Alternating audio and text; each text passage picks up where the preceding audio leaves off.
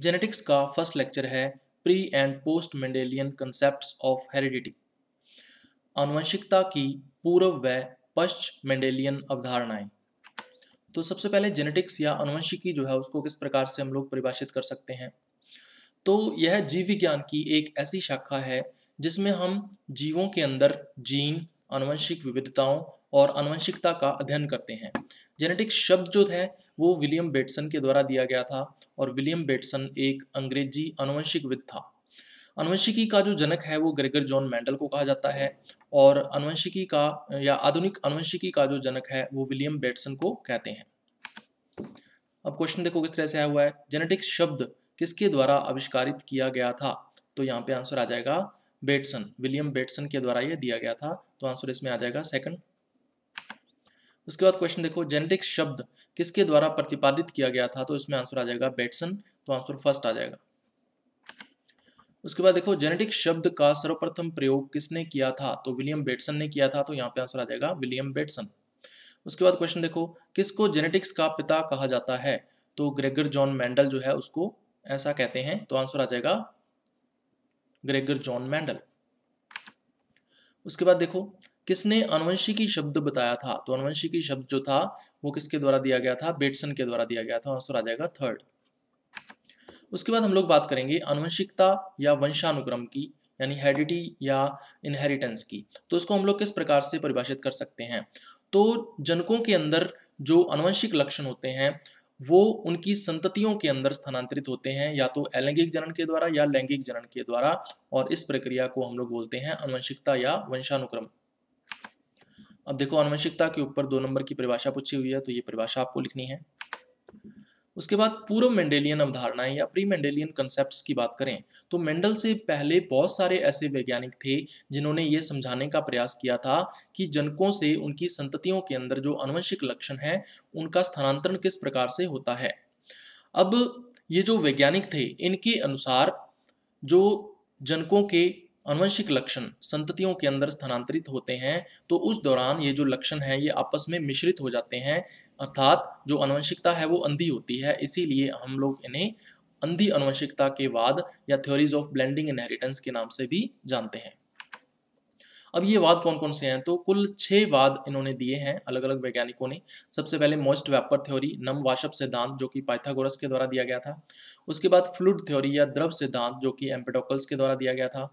और फिर reproductive blood theory, यानी जनन रुधिर सिद्धांत, जो था, वो एरिस्टोटल के द्वारा दिया गया था। तो पहले जो तीन वाद हैं, ये बहुत ज़्यादा महत्वपूर्ण नहीं है, इसलिए हमें सिर्फ़ यही ध्यान रखना है कि ये कौन से वैज्ञानिकों के द्वारा दिए गए थे। उसके बाद के जो तीन सिद्धांत हम लोग करेंगे, वो डिटेल में करेंगे, क्योंकि ये काफ़ी महत्वपूर्ण है और इन पे क्वेश्चन भी बनते हैं एग्ज़ाम के अंदर। तो चौथा है प्री फॉर्मेशन थ्योरी या पूर्व निर्माण सिद्धांत। पांचवा है थ्योरी ऑफ़ पेनजेनेसिस या पेनजेनेसिस सिद्धांत। और छठा है theory of inheritance of acquired characters या उपार्जित लक्षणों की वंशागति का सिद्धांत। तो इसमें सबसे पहले हम लोग करेंगे प्री फॉर्मेशन थ्योरी या पूर्व निर्माण सिद्धांत। ये सोलह में स्वामर्डम के द्वारा दिया गया था। इसके अनुसार जो जीव हैं, वो पहले से ही अपने छोटे रूप में शुक्राणु या अंड कोशिका के अंदर उपस्थित होते हैं और उनको स्वामर्डम ने नाम दिया था होमनकुलस। अब इस होमनकुलस से जो बड़ा जीव है, वो कैसे बनता है? तो वो बनता है निषेचन के द्वारा। तो निषेचन की जो आवश्यकता किस लिए होती है? होमनकुलस में वृद्धि को प्रेरित करने के लिए ताकि उससे बड़े जीव का निर्माण हो सके। लुवेन हॉक ने सोलह ईस्वी में शुक्राणु को सबसे पहले देखा था। उसके बाद करेंगे थ्योरी ऑफ़ पेनजेनेसिस या पेनजेनेसिस सिद्धांत। ये जो वाद था वो मोपरटुइस के द्वारा दिया गया था, जो कि सोलह से लेकर सत्रह ईस्वी तक जीवित रहा था। इनके अनुसार जो अनुवंशिकता है वो छोटे कणों के द्वारा नियंत्रित की जाती है और ये जो छोटे कण हैं, ये शरीर के सभी भागों से अंगों तक गति करते हैं या अंगों तक आते हैं और ये कण जो है वो भ्रूण के अंदर इकट्ठे हो जाते हैं, एकत्रित हो जाते हैं और अपनी संख्या को बढ़ाते हैं। उसके बाद डार्विन ने अठारह में इस सिद्धांत को रूपांतरित किया था और उसने ये बताया कि शरीर की प्रत्येक काय कोशिका व उत्तक जो होते हैं, वो छोटे कण उत्पन्न करते हैं और उन कणों को डार्विन ने नाम दिया था जैम्यूल्स या पेंजीन्स तो क्वेश्चन देखो किस तरह से आए हुए हैं। पेंजीन वाद पर चार नंबर का क्वेश्चन पूछा हुआ है तो ये लिख देना है आपको। उसके बाद पेंजीन वाद सिद्धांत किसने प्रस्तुत किया था? तो इसमें आंसर आ जाएगा मैपर जो है। उसके बाद पेंजिनवाद किसने दिया था? तो मापर ट्विस्ट जो है वो आंसर आ जाएगा। उसके बाद theory of inheritance of acquired characters की बात कर लेते हैं। उपार्जित लक्षणों की वंशागति का सिद्धांत। ये फ्रांस के रहने वाले एक जीव वैज्ञानिक जीन बैप्टिस्ट लेमार्क के द्वारा दिया गया था। इसे कोमल आनुवंशिकता भी कहा जाता है और लेमार्किज्म के नाम से भी जाना जाता है। इसके अनुसार जो जनक हैं, उनके बाह्य लक्षण संततियों में स्थानांतरित होते हैं और केवल वे ही बाह्य लक्षण स्थानांतरित होते हैं जो जनकों ने अपने जीवन काल में उपयोग या अनुपयोग के आधार पर अर्जित किए होते हैं। इसीलिए इसको बोलते हैं उपार्जित लक्षणों की वंशागति का सिद्धांत। उपार्जित का मतलब है उपयोग के द्वारा अर्जित किए गए लक्षण। क्वेश्चन देखो किस तरह से आया हुआ है। उपार्जित लक्षणों का वंशागतिवाद किसके द्वारा दिया गया था? तो इसमें आंसर आ जाएगा, जीन बैप्टिस्ट लेमार्क के द्वारा दिया गया था।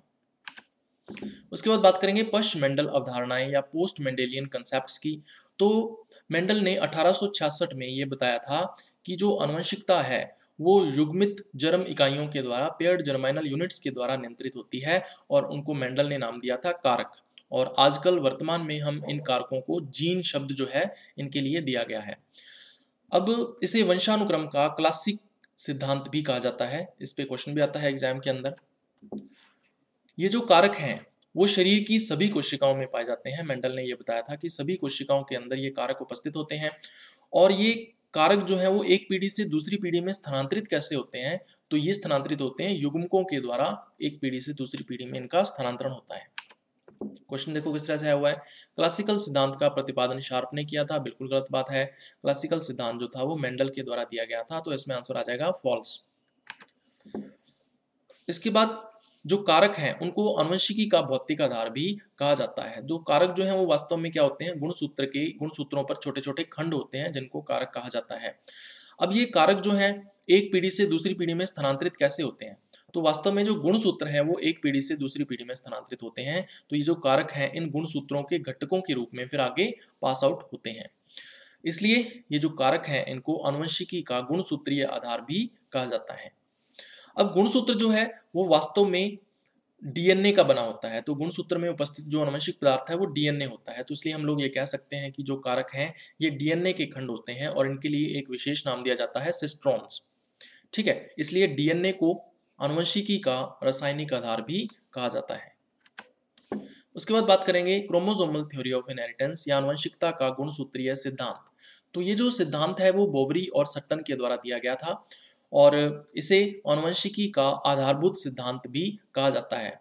इस सिद्धांत के अनुसार जो जीन है, वो अनुवंशिकता की इकाइयाँ होती हैं और ये जीन कहाँ पर पाए जाते हैं? गुणसूत्रों पर पाए जाते हैं। इसने गुणसूत्र को जीवों के वंशानुगत वाहन भी कहा था। इस पे क्वेश्चन देखो किस तरह से आया हुआ है। गुणसूत्रों में जीन का सिद्धांत मेंडल द्वारा दिया गया था। बिल्कुल गलत बात है। ये बोवरी व सट्टन के द्वारा दिया गया था। तो यहाँ पे आंसर आ जाएगा फॉल्स उसके बाद चार नंबर में क्वेश्चन पूछा हुआ है, अनुवंशिकता का गुणसूत्रीय सिद्धांत तो ये आपको लिखना है।